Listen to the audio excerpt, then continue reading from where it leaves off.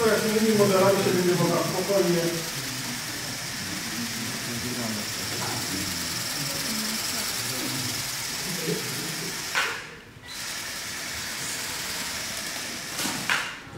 Odporna